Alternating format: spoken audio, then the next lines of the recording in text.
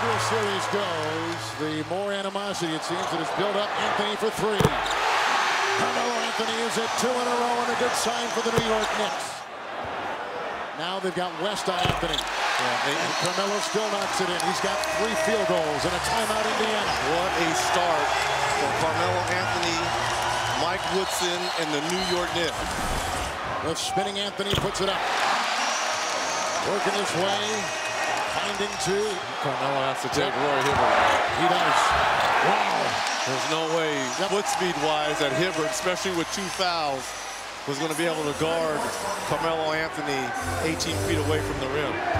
That breaks a three-minute drought from the field for the New York Knicks. The officials are doing an excellent job of Carmelo. Two.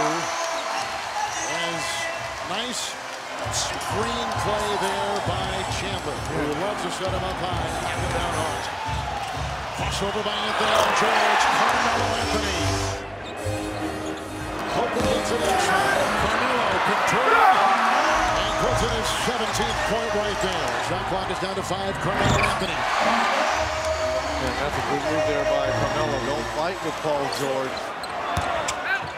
Carmelo. Anthony's got that stroke. He's got 21. Watching Carmelo. Anthony with a big shot. And that's what it's going to now be. Back and forth, everything so precious. 24 for Carmelo. George will defend Carmelo. Shot clock is down to seven. Anthony. Well, he gave him a, a little bit of a Dirk Nowitzki shot right there. The little step back and you raise up that, that leg to create space. And the New York Knicks will win this game by 10.